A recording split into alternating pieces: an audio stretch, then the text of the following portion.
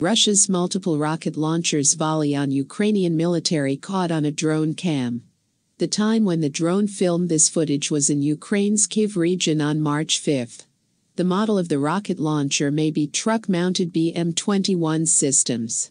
The footage is understood to have been shot by volunteers assisting the Ukrainian military.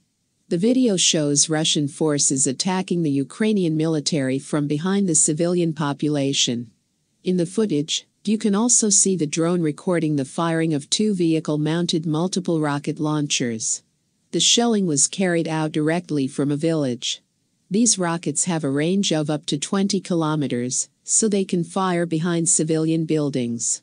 All 40 rockets can be away in as little as 20 seconds, and the vehicle leaves from the original launch place in two minutes. The end of the video shows an area in the village on fire, with huge plumes of smoke rising. At this time, the rocket launcher vehicles also drove on the road.